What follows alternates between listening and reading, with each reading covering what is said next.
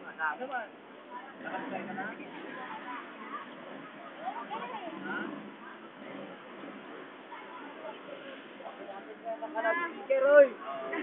Oy, nakalag-speaker ka eh.